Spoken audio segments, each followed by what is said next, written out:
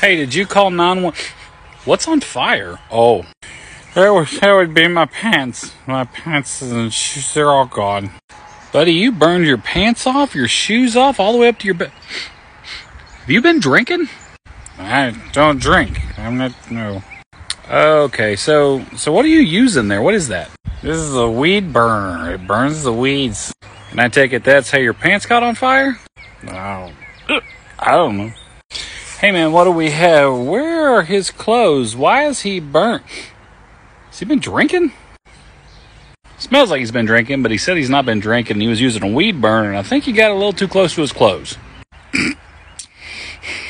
All right, now what's your issue? Nothing.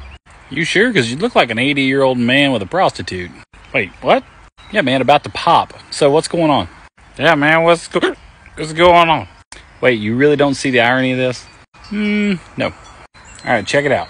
He burned himself, all of his pants, on fire.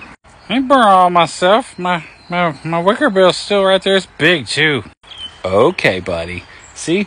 Andy's obviously lying about being drunk. So, is there a point to this story, or are we just trotting around like a show pony? Come on, man. Liar, liar. Pants on fire. Oh, yeah. Hang on. Wait, what are you doing? Oh, that's totally about to be my differential diagnosis. Okay, you caught me. See, bud, doesn't it feel better to tell the truth?